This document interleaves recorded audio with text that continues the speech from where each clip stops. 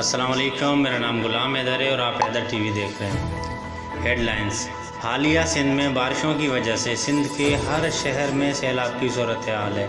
हर गली, मोहल्ले, रोड पे पानी भरा हुआ है। कराची, हैदराबाद, दादू कंबर शदादकोट जामशोरो, हर शहर में पानी भरा हुआ है। हैदराबाद कासमाबाद लतीफ़ाबाद, हुसैनाबाद, सिटीज़न कॉलोनी, चांडिया गोड नसीम नगर पानी से भरे हुए हैं।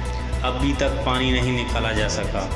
मज़ीद वेदर अपडेट के लिए हमारे चैनल को सब्सक्राइब करें शेयर करें। अगर हमारी वीडियो आपको अच्छी लगे तो हमारी हौसला अफजाई के लिए कमेंट्स लाजमी करें। हाफिज़।